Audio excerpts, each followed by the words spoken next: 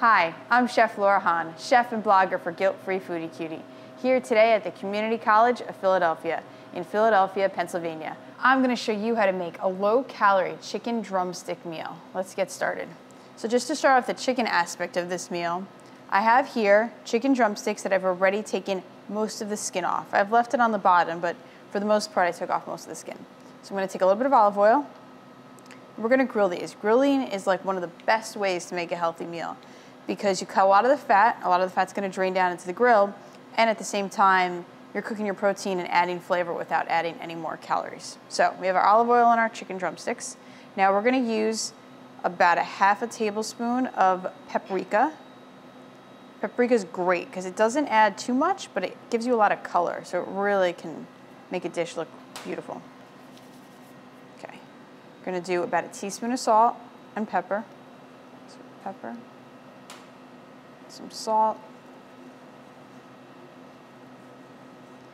And then I have three quarter of a tablespoon of chicken seasoning. Now you can use anything you want. If you're gluten-free, before you get any spice blends, you've got to make sure it says gluten-free on it. Sometimes they hide different wheat products in there, either to bind the spices together or just to kind of add a filler to it, so you gotta be careful.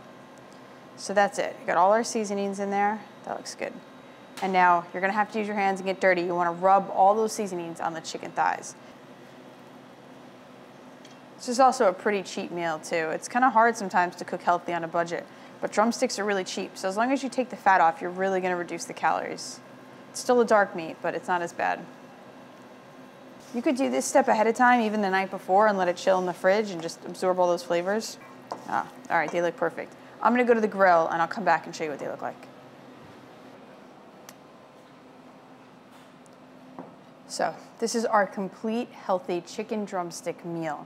What I did was I took our grilled chicken, which are skinless, put them right on the plate with some steamed carrots and some steamed rice. Super healthy, super affordable, and delicious, I promise.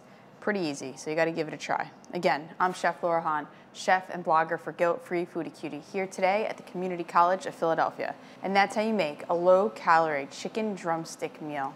Enjoy.